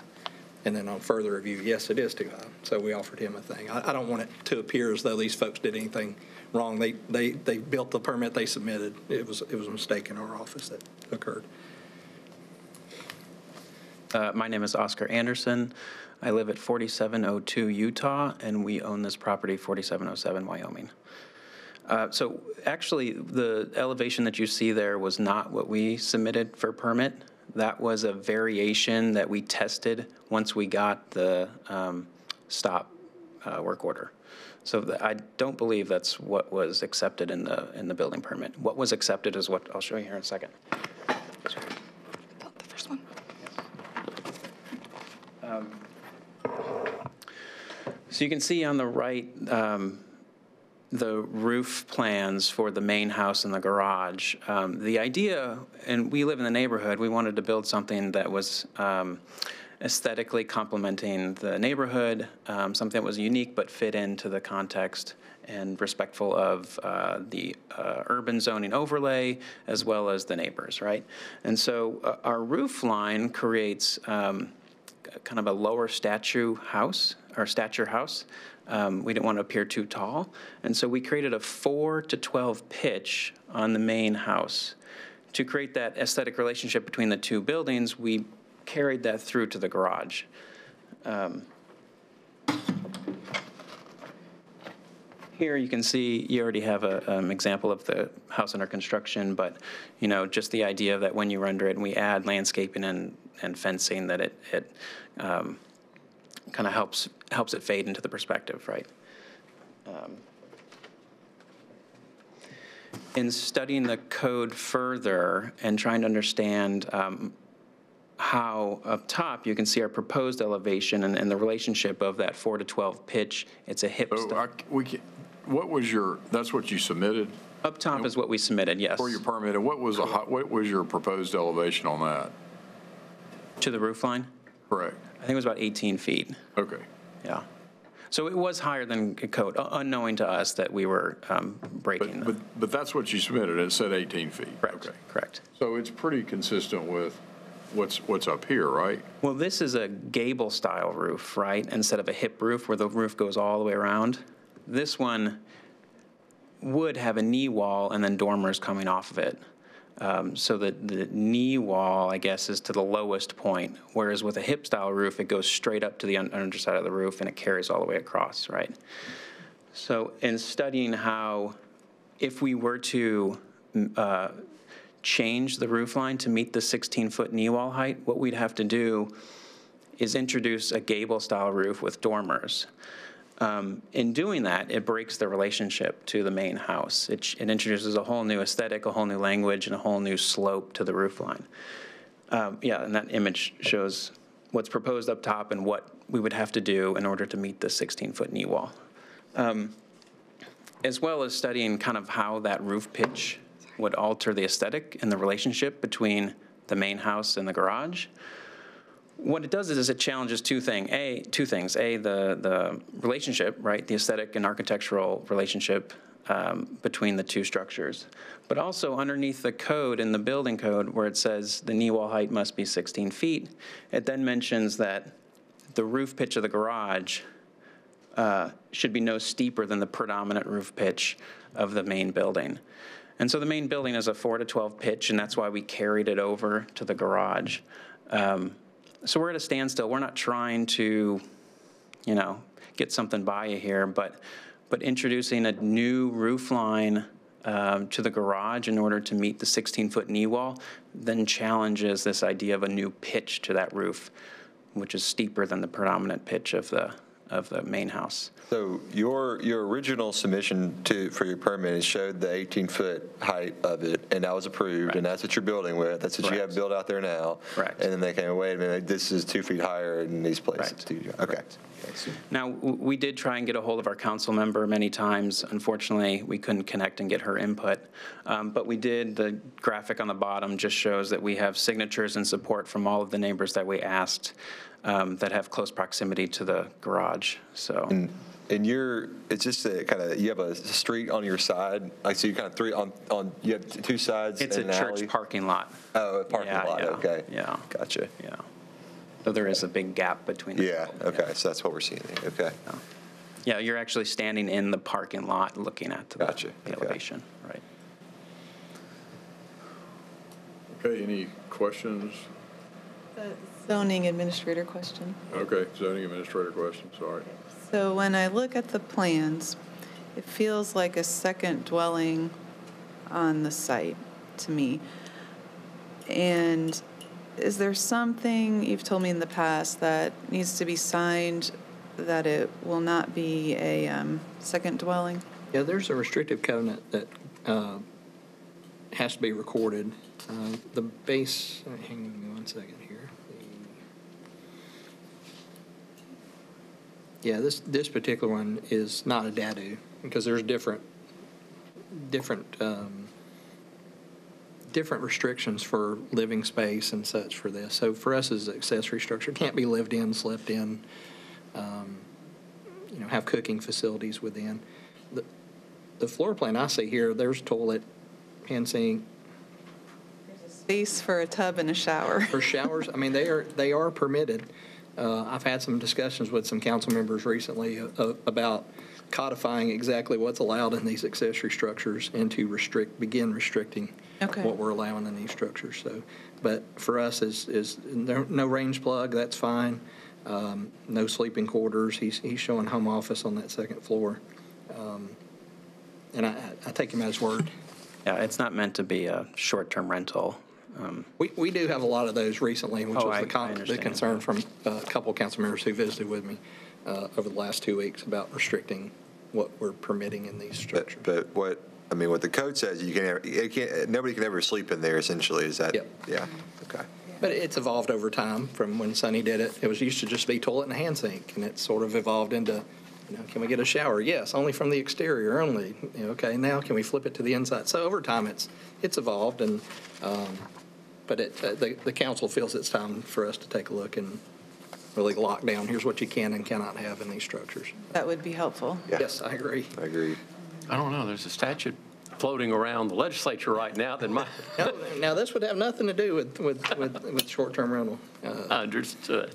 Well, it's not even the short-term rental, it's also long-term rentals. And it's not intended, it's zoned RS, so it's not intended for a long-term rental either. So do y'all have anything else? Or any questions for the applicants? If not, we'll close the public hearing. Okay. No, just to add that this isn't intended to be a long-term or short-term rental. It's really just a space for us to watch our kids while we work remotely at home and to have, you know, a space outside the house so that we can occupy it in a sense. It's not meant to be lived in. May I ask Joey one quick question? I just, and I'm going Yeah, yeah. to sort of build up on what Christina asked. It's just, so we got their application. It showed the elevation that's basically there now, and oops. Okay. The, the, the the examiner put the, the 16-foot restriction on the purpose of the permit, but the drawings show um, what he submitted. Correct. Okay, we'll close the public hearing and discuss. I thought they did a great job, actually. I really. I mean, Very, very clearly you all. presented, presented, yeah. Thank you. I mean, I, I, I kind of, said my, if it, if it's approved in the permit, then, I, I mean, uh, for, us- for a minor, for a minor thing like this, if it's approved in the permit, I have to feel like, you know, Do I hear a motion coming? I, I'm make, I'm making a motion that we approve the variance request as presented. um, Basically, yeah. Yeah. So we're overruling, right? Am I right? Well, it's a, it's Oh, a no, variance. this is It's not, not, okay. not, not an item. Not an item so- I can't wait to second your motion. Well, I just made a motion, so. So I'm seconding it. So uh, there's been a motion to approve the variance uh, and a second. All in favor, raise your hand or say aye. Aye. Any opposed? None opposed. That motion passes. Congratulations. Tear it Thank down or you. rebuild it. Uh, For the record, because it wasn't announced, I just wanted for it to be clear that I recused myself on case uh, 2022-036, the one on Edwin.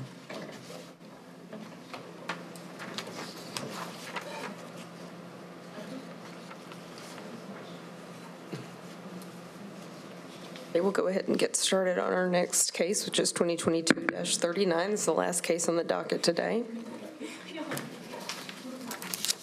It's a request for variance from a street setback, construction of two residential units located at 2609 Alpine Park in the R10 zoning district. There's the zoning map as well as an aerial shot of the area, photos of the streetscape. The site plan submitted by the applicant. contextual average setback of the four nearest homes should be 34 feet, which is slightly less than what the zoning examiner's calculation was. So I do think it's somewhat closer to what the variance requested is. Um, If you look at the four nearest properties, which would include the two properties on the other side of the circular drive. If the applicant would please come up. You'll have five minutes to make your presentation.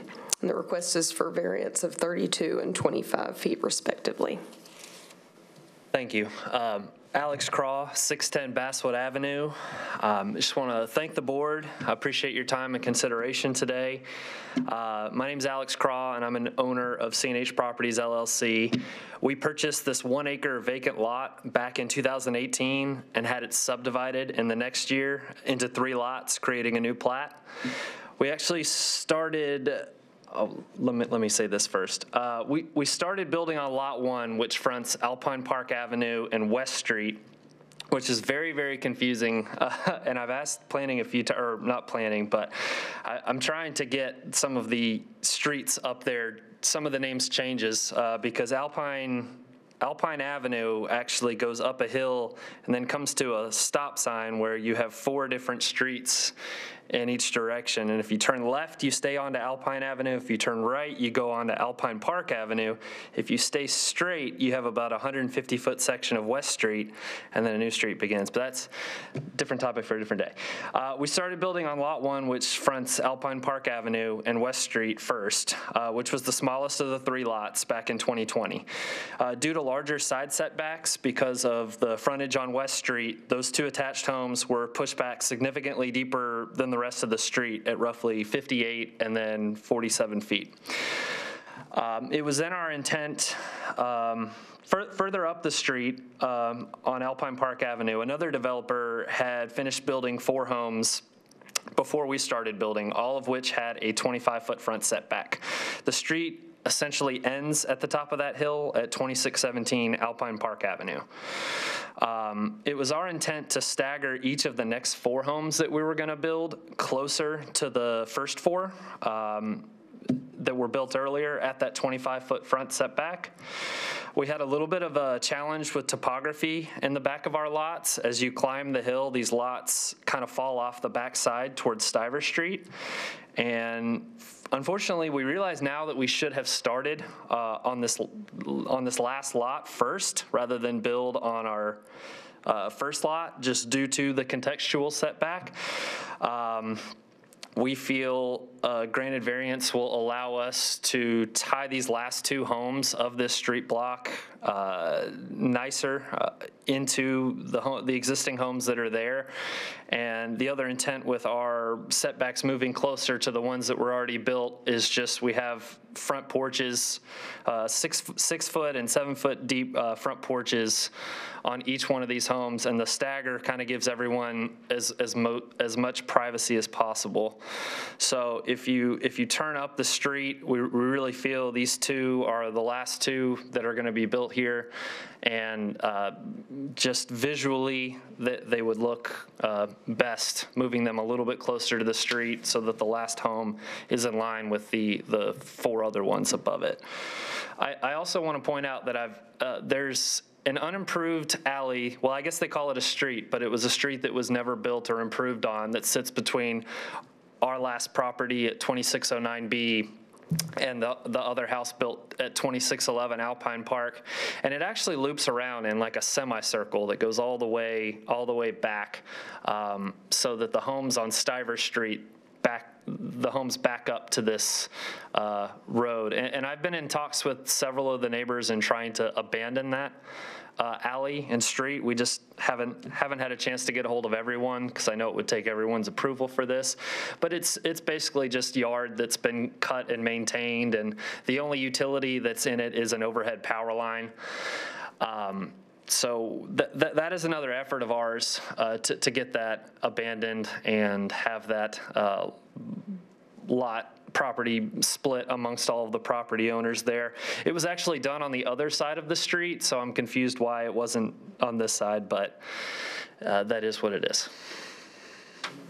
All right. You're only, oh, sorry, go go ahead. Oh, um, uh, so the Unit A, is- you're asking for 32 feet, and Unit B, you're asking for 25 feet? Yes. And are you trying to, so you're trying to kind of step down to the 25 feet that's across the street? Correct, correct. And that, that was our intention, and, and hindsight being what it is, we should, we should have started there at 25 and 32 and then kind of gone back, but uh, we, we ended up starting on the corner one, and due to a 20-foot side setback on that, that corner lot because of west, the frontage on West Street, it kind of, we kind of uh, cannibalized the rest of our, of our plan.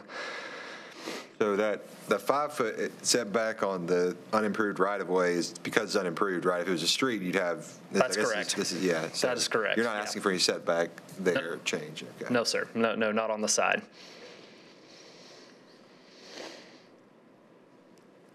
Alrighty, uh, any questions? So what's your actual stated, like, hardship?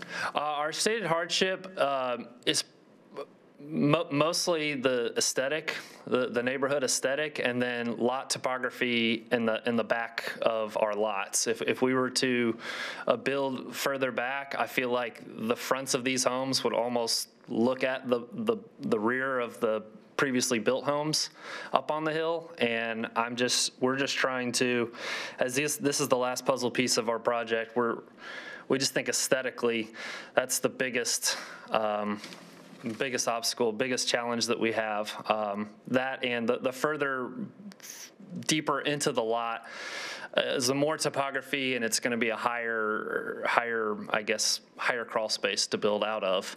Um, So you're saying, so it slopes from the, fr- like, the front, the highest Correct. part is on Alpine Park down to the back on Stivers Street? That's correct, and it's probably 20 feet or so, I would say, from, And would you say that the, uh, that disturbing the, you know, hillside could provide, could make some water issues for people in the back, the more, the more you move it down? I would, I would agree with that. And also, I want to point out this whole project, and, and I guess we were blessed that it, it was the way that we received it. We haven't had to cut a single tree on this one acre, so I'm very, I'm very happy. I wanted to mention that. All, all of the trees were planted kind of as, I guess, a privacy along Stivers, and we haven't had to, uh, haven't had to do, um, eliminate any of those. So that's, we have not had any water, water issues, and the lots are, the lots are deep enough, and um, these last two homes are fitting in style with the, the previous four that we've built, so, On the previous four that you built, did you get a variance?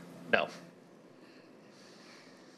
Kind of see a, another hardship here, but I don't know if it's time yet to deliberate, so I could Well, wait on anybody, that. any more questions for the applicant? If, we'll I have a close question. Why isn't this a self-imposed hardship? Why would what? Like, I want the applicant to explain to me why wouldn't I consider this a self-imposed hardship? Like, that this hardship is unique to the land and that this was not a problem that he created? Or his, that the development that they did created? Um, I guess when we approached this project from start to finish, we had a vision and, um, part, part of this was, was human error on our part. Um, in hindsight, we, sh- we should have started on, on that side. So I am, in a way, ask, asking for forgiveness for that. Uh, we, we always intended for those, those two, which, which are slightly bigger than the other two. I think these are 2,000 square feet each. Um, to, to be as close to the street because of the contour. Um, so that's, yeah, we, we, we started, we started on the wrong, wrong side of the street with, with smaller homes working, working away into bit larger homes. But we do feel with the topography of the lot and also just the overall aesthetic of the homes that were built prior, um, that this variance would allow. Okay, well, thank you. You got it. You know, one, one interesting point to what you said, Ms. Davis, it's it- the self-imposed hardship, it's the self-imposed variance, in a sense. Yeah. If he had built them in a different sequence, he'd been fine, because the, the other houses could have dropped in, they were behind the contextual. So And I- it's, it's a weird analysis. Yeah. You know, it's kind of the opposite of. And I appreciate his honest response. So, like, I felt like that was honest. Like, I think sometimes people will say something else, and I think he just owned it. So I appreciate it. Thank you. You got it, absolutely. Yeah, and I appreciate Really that. impressed. I was really impressed by the answer. Like, thank you for being honest. Absolutely, yeah. No, it's, Well, we'll close the public hearing, so um, So that's, so what you're, just out of curiosity, you're saying that by doing it the way he did, he changed the contextual step back to make, Yeah, I mean, require, okay? Yeah, because the, there's, on the lot next to Stivers. Right. That's an odd-shaped lot, so those homes had to be pushed back because of that, that's an odd-shaped lot. So it does, But but if he, if he had started with these, then the, the four that are across the street would have made up the contextual setback and then been 25 feet. He could have built these wherever, however he wanted to there. But I will say that the topography of the site is not self-imposed. Um, Topography is, is, is what it is there, so. uh, good point. I mean, from that standpoint, though, it's self-imposed because you're, he can build on that slope, slope site. Like, he doesn't have to push the home forward. Yeah, like it doesn't have, yeah, I agree. Like it doesn't have to be this. Like it's, some of it is because, yeah, the lot's weird, but it's also because of what they're putting there. But like I said, I appreciate the honest response and I also appreciate that if they had started where they are today, he probably wouldn't even have been before us. So I do understand that. Uh, uh, Yeah, Uh, and I, I- you might, could- you might could say that there, that building further on the back would create more of a harm to neighboring properties because of the way that the site drains, and, you know, you kind of creating a mess there with, with some drainage, I think, if you further back you build. Can't put any trees up there, can you? Oh, we'll, we'll definitely put a few more trees back there, but, uh, yeah, it's, it, Well, okay. uh, You did your homework if you knew about trees. I wasn't gonna say anything until I heard the first case, and, and I did want, want to point it out, but. And if he suffered through all of this today, you know, It's not too bad, two When I hours. looked at this, uh, it almost looked like it might go on consent, but I felt like the architects. It makes sense. Everybody needed to see it, but um, It, it, it- like, like Mr. Law said, it just makes sense. I mean, it, it, it's, it's in line with good, a good neighborhood. It's, it's more contextual than hon- frankly building at the contextual setback. Yeah. So, um, I'd say, uh, yeah, I, I, it, it, just makes sense to me. you making, is that? I'll- So I will, based on the, the- the Your day to make hardship motions, so- being the, yeah, topography of the lot and, uh, and the kind of unique nature, uh, uh, of the, of the development pattern, um, I, I, I make a motion that we approve the variance as, uh, requested. Second. Motion has been made and seconded uh, to approve the variance. Uh, All in favor, say aye, or raise your hand. Aye. Any opposed, none opposed? Congratulations. Thank you very much. Variance has been Appreciate granted. y'all's time. I mean, we've actually had the last two cases, we we fell on sword. That was our last case, Yes, sir. correct? It is. Okay, we're adjourned then.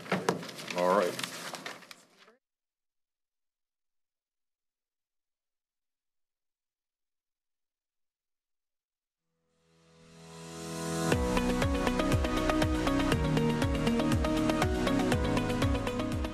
This has been a service of the Metro Nashville Network. If you would like to see this presentation again, or for more information on this and other programs, visit nashville.gov.